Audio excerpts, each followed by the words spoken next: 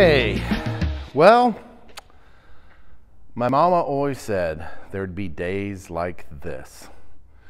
It's a quote from a Van Morrison song, and I'm not sure that Van Morrison was talking about, you know, days like this.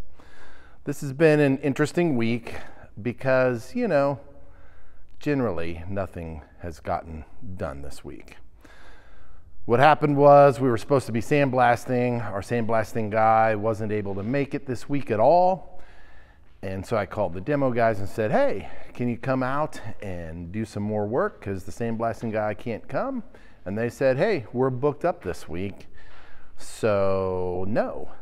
So in that case, very little has gotten done to the building this week.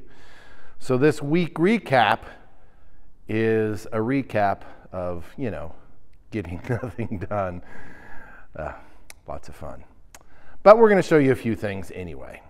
Once again, I just can't get over how great this facility looks, how fantastic this brick looks. Um, I mean, pictures do some justice, but not nearly the justice as having been in here, seeing those walls painted and now seeing just brick. Um, it is pretty cool. Um, this round area over here, I don't know if we're going to walk all the way down there. Yeah, sure, why not? It looks like it was an area, perhaps there was a boiler or some sort of vent that went outside over here. And so then they bricked that in. So you can clearly see that. Otherwise, I don't know if there's any other penetrations that were in here. But man, it just looks so good. We talked a few videos ago about the ceiling in here. Uh, we pulled the floor down, floor. I must be smoking something. We pulled the ceiling down and, and opened up these rafters. Maybe I should start over. Oh, but that's what makes it so fun. So we opened up the ceiling, exposed the rafters, and we're like, hey, that looks cool. It'd be fun to take it all the way up brought the architect in and he thought, well, you know, you could, but there's various things that would probably prevent us from that. So there's several things you can do. So he suggested possibly sanding these. We could sandblast them as well. Um, I don't know. We'll, we'll make that decision later. But I went over here to some of these studs here in the walls that will cover up anyway, and I sanded them. I was like, oh, wow. Now that looks something. So over here, basically same vintage, same stud. You can kind of see the, the, you know, the, the marks in the wood, all of the, the layers in the wood. And over here, you can see the grains just, they just look fantastic. Look at that.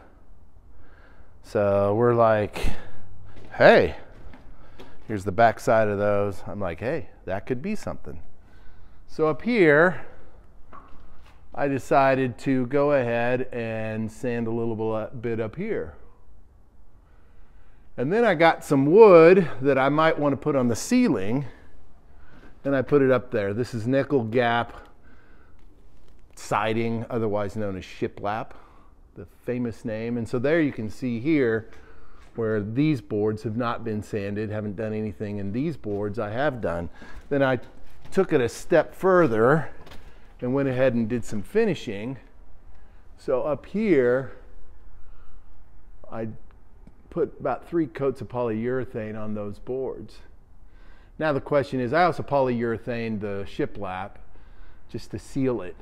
The question will be, do we want to keep it natural like that? Would we want to stain it if that's what we decide to do? So what, what would we do there? So that, that'll be a question feel free to give me your thoughts on that. But I'm kind of thinking this looks pretty good. So that up there, that's a preview, preview of things to come, things to look forward to in the coming months. I don't know why I'm sidetracked on the ceiling in here. Um, well, partly because if we do end up sandblasting those rafters, we would have the sandblasting guy do it. And so I wanted to just take some photos, take some video. I wanted to see what it would look like. So Uh, and then we may or may not choose to sandblast. Sandblasting would cost some money.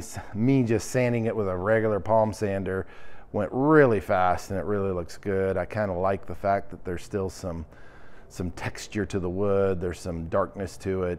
Um, it looks vintage, and uh, because it is vintage, and we don't want to want it to look new. So that's what's going on this week. Fireboard headquarters remodel. Not a lot, but we're looking forward to uh, to things to come. Thanks for watching.